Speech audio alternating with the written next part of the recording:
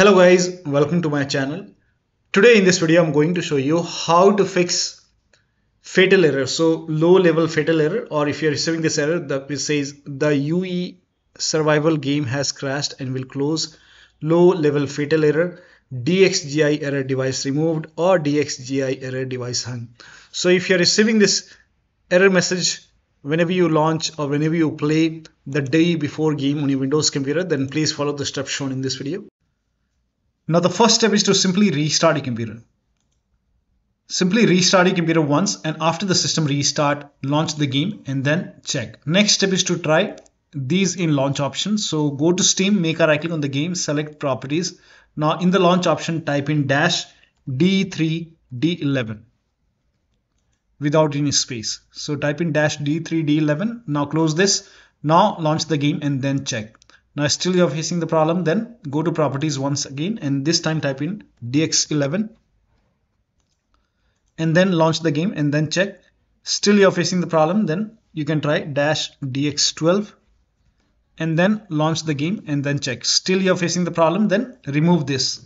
Still it's not working you can clear this and then follow the next step now the next step is to run the game as an administrator from the game installation folder. So instead of launching the game from Steam, you can make a right click on the game, select manage, then click on browse local files. It will straight away take you to the game installation folder. Now open the survival folder. Now open binaries folder, open Win64 folder. Now over here, find the game.exe file. So over here you can see the game.exe file, make a right click on the game.exe file select properties and then go to this tab and then put a check on the box which says run this program as an administrator. Click on apply, click on OK, make a double click, launch the game. Still you're facing the problem, do the same thing with this exe file, the second exe file, select properties and then again put a check over here, run this program as an administrator, then click on apply, click on OK, make a double click and launch the game. Now still you're facing the problem, then go back and then open engine folder, binaries folder and yeah that's it. You you run the game as an administrator from the game installation folder from this location. Now still you're facing the problem then make a right click on the game exe file once again go to properties and then over here put a check on the box over here and then select windows 8 from the list click on apply click on ok make a double click launch the game. If that does not work select properties once again and this time select windows 7 click on apply click on ok make a double click launch the game. If that does not work do the same thing with the second exe file properties and then put a check over here. Select windows 8 apply ok make a double click launch the game. If that does not work again select windows 7 over here. Click on apply click on ok make a double click launch the game. Now still the game is not launching. In that case you can make a right click on the game exe file select properties and then uncheck everything. So when putting a check is not resolving this problem you can uncheck all the boxes from here. Click on apply click on ok make a right click once again on the second exe file and uncheck all the boxes from here. And then click on apply click on ok and then you can launch the game and check if that does not work follow the next step. Now the next step is to uninstall and reinstall BattlEye now for this again uh, go to the game installation folder, make a right click, select manage, click on browse local files, and then open survival binaries win64 BattlEye. And then over here you can see uninstall BattlEye. So make a right click, then click on run as administrator. Click on yes to allow, click on yes, click on OK. Now over here you can see install BattlEye, make a right click, then click on run as administrator, click on yes.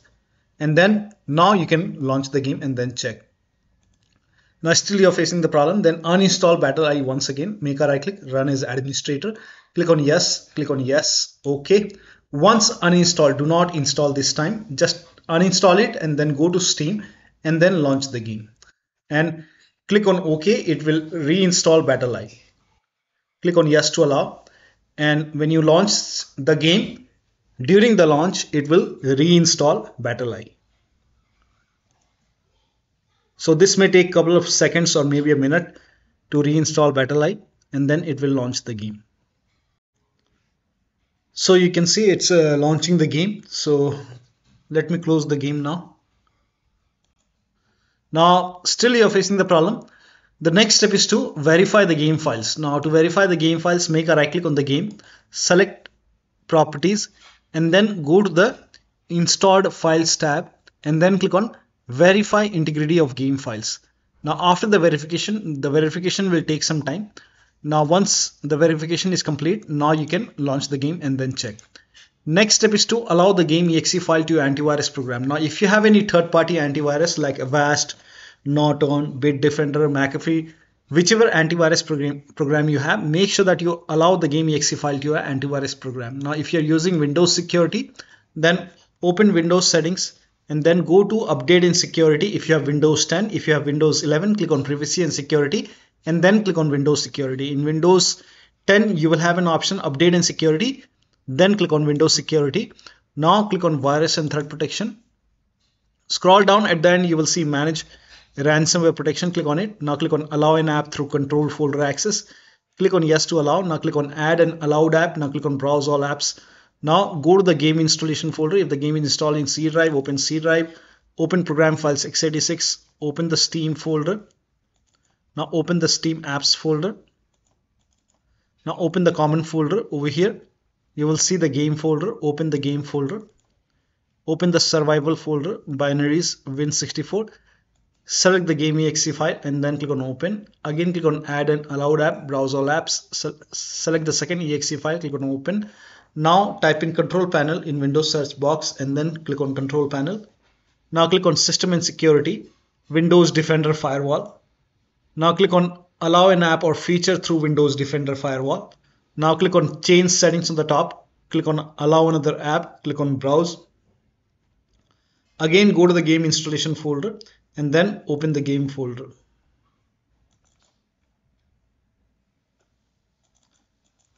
And then select the game exe file, click on open, click on add. In my case, the game is already added. Again, click on allow another app, then click on browse, select the second exe file, click on open, now click on add. In my case, both exe files are already added.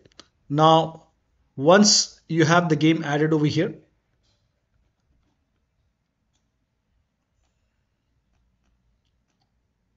So once you have the game added over here, now click on OK. Now launch the game and then check. Now, next step is to do a clean installation of your graphics card driver. So if you have NVIDIA card, go to NVIDIA website. If you have AMD card, go to AMD website. I'm showing for NVIDIA. So go to NVIDIA website and then select your graphic card from the list. Make sure that you select the right series and then select your graphic card make sure that you select your graphic card over here now if if you have windows 10 select windows 10 if you have windows 11 select windows 11 now click on start search. And then scroll down. And here you can see the latest GeForce Game Ready driver. Right now it's uh, version 546.29 so click on get download. Now click on download now. Now once the download is complete you have to run this exe file. Now once you run this exe file, you will see this screen, click on agree and continue and then put a check on the box which says custom and then click on next and then put a check on the box which says perform a clean installation.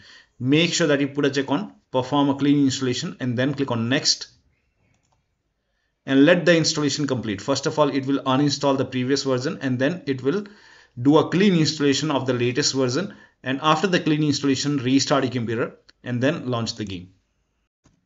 Now the next step is to run the game on dedicated graphic card. Now, so type in graphic settings in Windows search box and then click on graphic settings and then click on browse over here. Now go to the game installation folder once again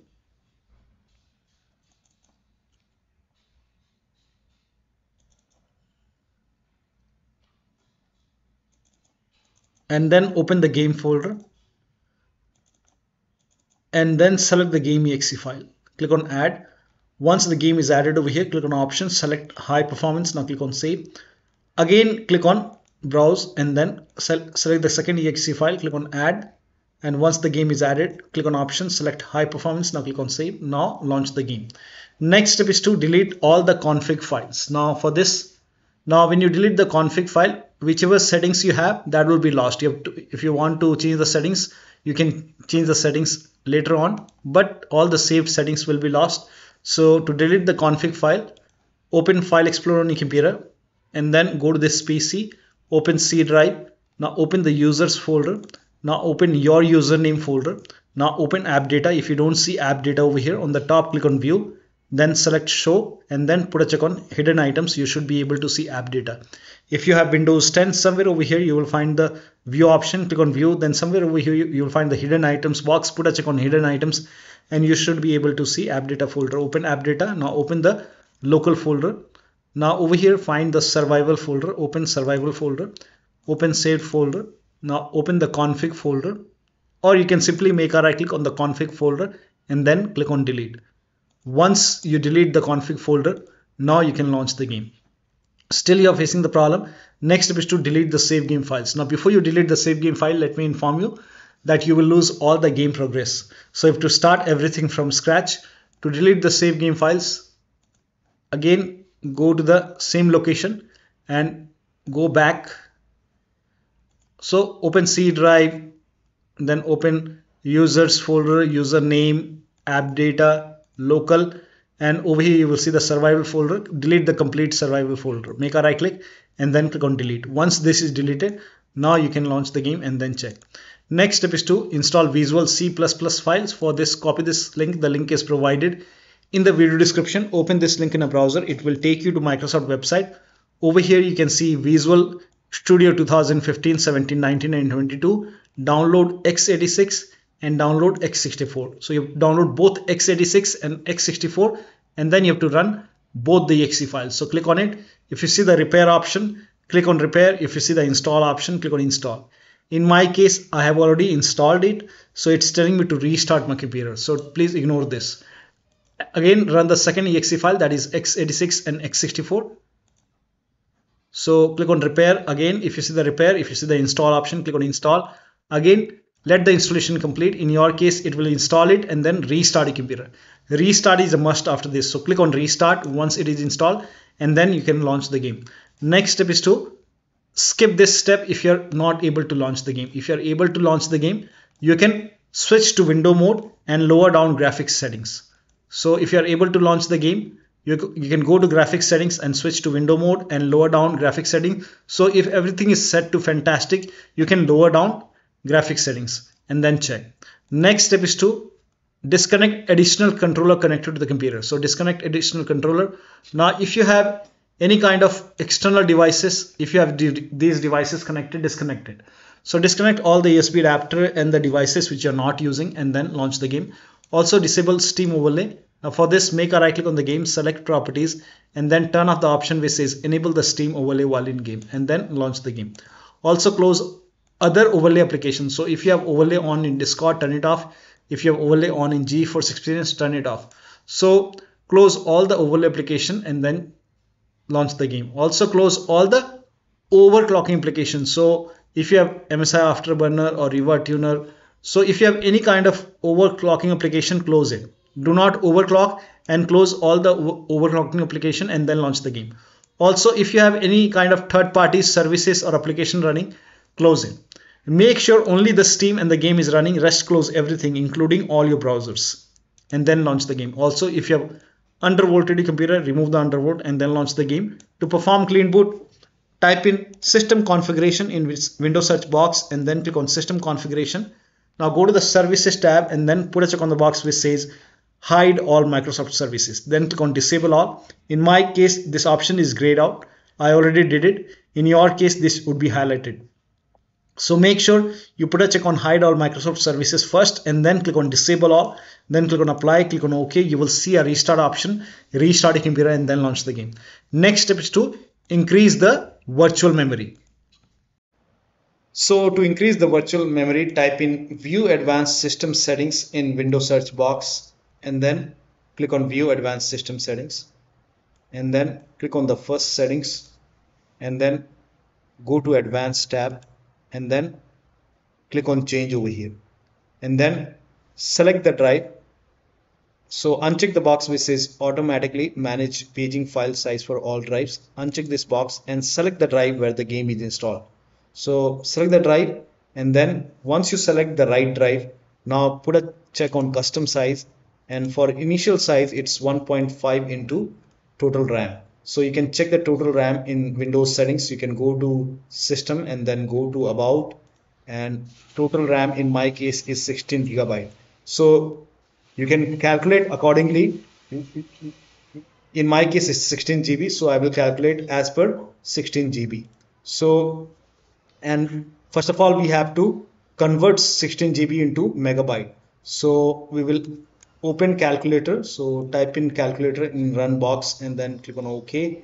And over here uh, it's 16 1.5 into total RAM. Total RAM in my case it's 16 RAM 16 GB so 1 16 into 1024 1024 is actually 1 GB is equal to 1024 megabyte. So 16 GB in megabyte will be 16384 into 1.5 1.5 into total RAM. This is my total RAM in megabyte.